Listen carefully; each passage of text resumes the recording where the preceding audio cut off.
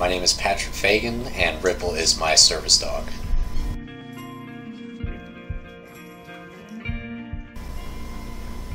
I was an infantryman in the United States Army. I served one tour in Afghanistan from May 2011 to May 2012, and I medically retired from the Army December 16, 2013.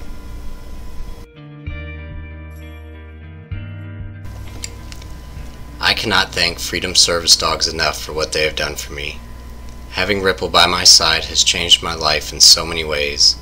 He gives me a purpose and reason for getting out of bed each day. I have gained some of my independence back, making me more active and social.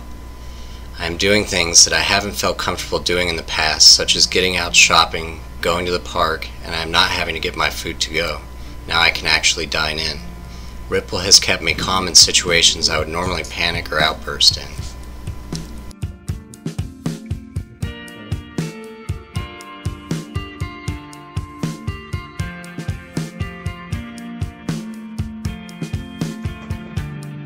I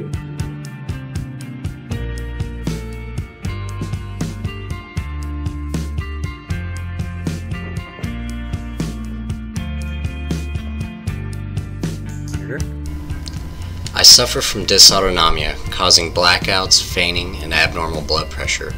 Now instead of having someone get my blood pressure monitor or taking the risk of standing up to get my monitor and possibly having a syncopal episode, Ripple retrieves my monitor from across the house. In the event I do have a syncopal episode, Ripple has also been trained to find a friend.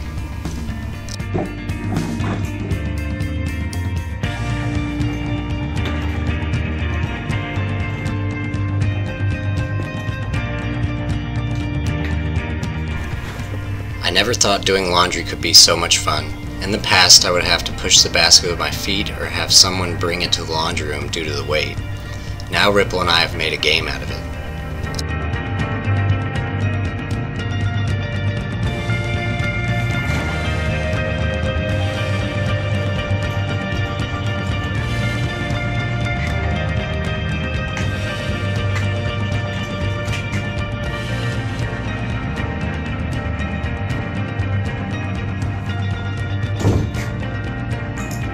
Tug.